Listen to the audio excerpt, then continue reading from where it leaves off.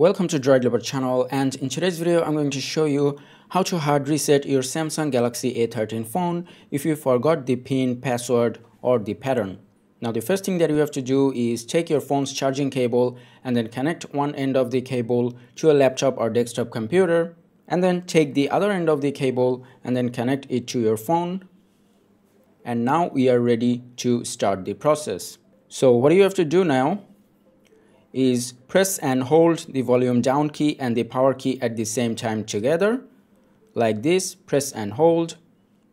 And then once the screen goes black you need to release the volume down key and then press the volume up key. And once you see the Samsung logo you need to release the power key and keep holding like this until you see the reset menu. And here you can see now we are at the reset menu now in here, the process is really simple. All you need to do is use the uh, volume up and volume down to navigate and then use the power key to select. So I'll just press the volume down until I go to wipe data and factory reset and then just press the power key to select it and then volume down again and then power key again.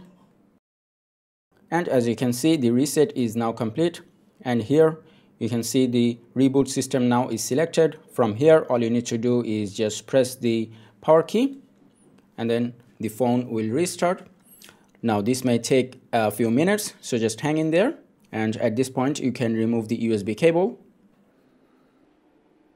And as you can see the phone is ready and we are on the setup screen. From here you can set up your phone again and that is how you can hard reset or factory data reset your Samsung Galaxy A13 phone if you forgot the pin, password or the pattern of your phone.